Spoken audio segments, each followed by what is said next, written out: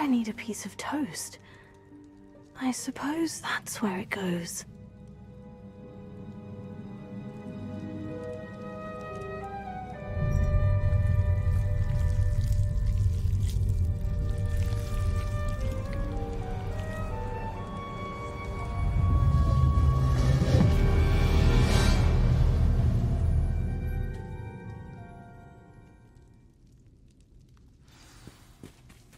Revelio.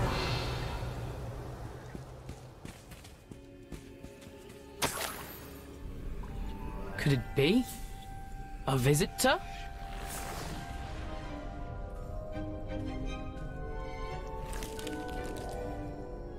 Oh! Ah! Ooh! ah! The name's Richard Jackdaw.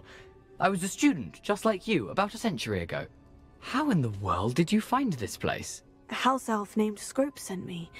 Said I might find a black family ring here. Ah. Sorry to say, I sold the ring a long time ago. Poor Scrope. Still holds a candle for Apollonia, I reckon. Can't say I blame him. I stole all these treasures just to impress her. Alas, 'twas to no avail. I thought a secret map I pilfered from Peeves would pique her interest. But she simply rolled her eyes.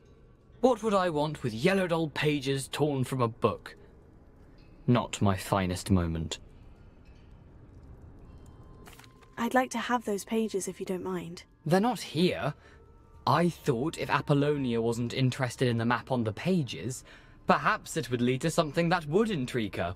So, I followed the map to what I can only describe as an enchanted cave of some kind. And you see what happened next? Here's an idea. Why don't you meet me at the edge of the Forbidden Forest, and I'll show you where to find the pages?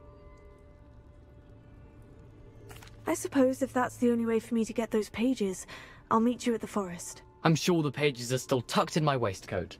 If you don't mind the sight of a, well, my decapitated skeleton, they're yours for the taking.